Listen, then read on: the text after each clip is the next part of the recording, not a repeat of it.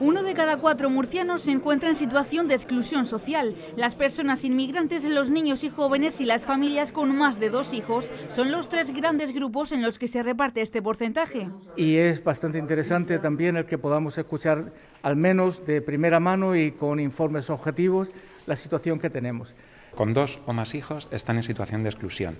Eh, la crianza, parece evidente, es un, es un elemento que lastra a las familias murcianas y que de alguna forma las está empujando hacia la exclusión.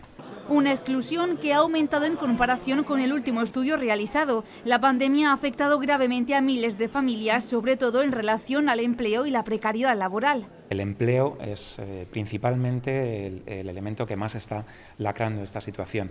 Y hablamos de dos realidades del empleo.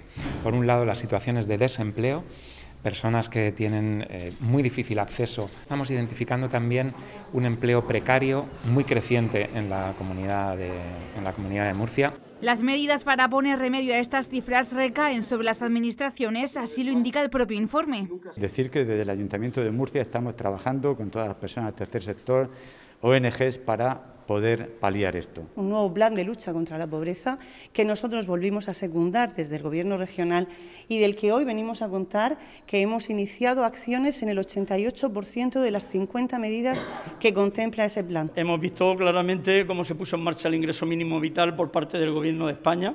Yo creo que es una herramienta fundamental Medidas para amortiguar el impacto de esta crisis social y sanitaria que ha empeorado los indicadores de pobreza en la región. A día de hoy hay más de 85.000 hogares murcianos que sufren pobreza severa. Y con la